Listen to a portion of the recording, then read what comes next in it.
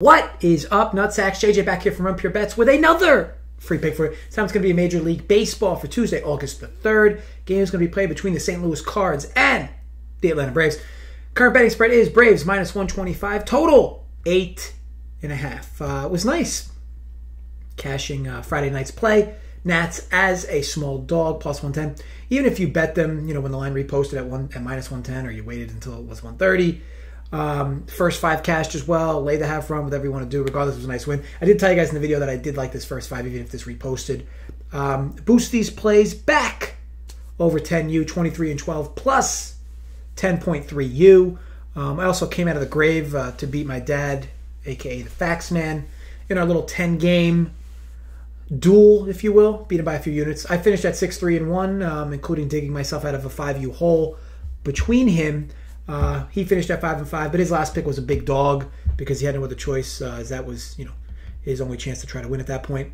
That's where I was good. Now let's talk on the bad. Uh, two live show plays this weekend in MLB, both lost right at the number. Um, I often say I'd rather be wrong on a game and lose by 20 runs than a nail biter with a photo finish. Um, either way, look to bounce back here. Um, as you can see, rocking my uh, my guy Angelo's shirt, Conforti. Also back in the gym these days, pumping iron um, no, it just kind of feels good to be back. Uh, you know, back on the healthy lifestyle kick. Right, uh, a few weeks in quarantine kind of changed things. So either way, glad to be back. Uh, for this spot, let's get right to it. Instead of me jerking you off, I'm targeting a first five here. Uh, over four and a half runs. Uh, again, Cards Braves got this minus 115 DK in New Jersey.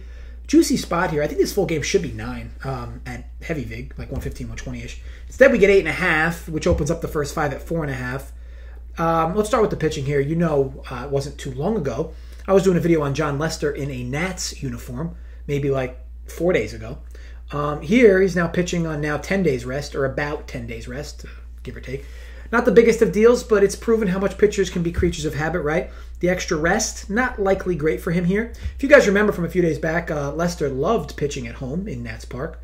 Much better home road splits, but now that he has a new home, I'm not sure how relevant that data is anymore. Here's what we know about Lester, right? He gets absolutely mauled by righties, and he is brutal versus lefties. Uh, really good versus lefties, just to be clear. Bad versus righties. Uh, he actually has some of the worst numbers in the league with the sample size he does uh, versus righty sticks.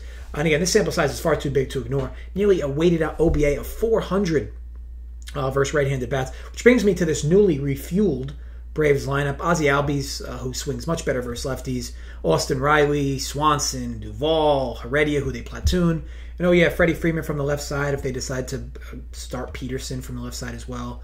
Um, you know, not many free outs here, especially for a guy like Lester who really struggles versus righties. Let's move over to Max Fried, uh, who has had quite a bit of regression this season from last. Nothing major, but certainly some glaring numbers in a negative way. Weighted OBA up over 300 to both lefties and righties. Severely struggles on the road. Another situation where the sample is growing too far to ignore with these road numbers. His batting average on balls in play likely comes down uh, from here, considering it's at 320. But I'll tell you what, if his line drive rate stays where it is, um, it might not. 23% line drive rate, 27% hard contact rate. When he's not getting ground balls with the slider, um, or when he is getting ground balls with the slider, he's great, but he's quite the opposite when he's not. This Cardinals lineup really let down this year, though, right? I mean, you look at the names on this team up and down, and sure, some of them are older, right? But not all of them. Um, you wonder how, like, any pitcher survives here, and yet nearly every night pitchers do well against this Cardinals team. Um, they have lefty mashers up and down, and, and yet they sit 21st best in average versus left-handed pitching and 20 total home runs uh, which is just crazy versus lefties this season. It's almost hard to fathom. I mean, you would think Goldie and Arenado alone could have 20 home runs versus left-handed pitching up to this part of the season. Um, you know, as a team though, they only have 698 ABs at bats. As cool kids say, versus lefties, which might seem high, but it's actually by far the lowest in the majors by over 200 at bats. Uh, ironically, who's right behind them? The Atlanta Braves. Sample size is large enough to be concerned, but all these numbers collectively, I think, is what's keeping this number low. These two pitchers in this park weren't a total up past nine, especially in warm weather, and yet here we are, eight and a half. Speaking of weather, a little 80 degree night in Busch Stadium. Wind expected to be blowing slightly in. Nothing crazy. This isn't weather I would consider that like helps an overall that much, but certainly doesn't hurt it. Um, I prefer first five because these pens aren't terrible. Um, I know that's a great reason, right? Um, but if this game is close late, I don't want to see top 10 arms from both these teams. Both are in playoff contention. Every win matters. Um, they're both trying to sneak into the wild card. Only alarming part about this game is you do have two ground ball pitchers going at it. This isn't usually a spot I target. Um, this, of course, could lead to many outs and an above average amount of double plays, but it's hard to look past certain numbers here, especially the ones I've referenced. The way this Brave lineup is Braves lineup is constructed, they're just built to put a ton of pressure on left-handed pitchers with low K rates.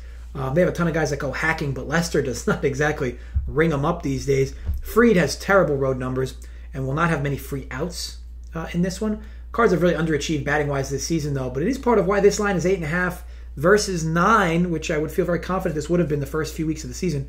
All these items collectively are why I like this spot. So again, first five over four and a half runs. Got this minus 115 DK in New Jersey. May the odds be ever in our favor. I want to thank you all for watching. If you enjoyed, thumbs up.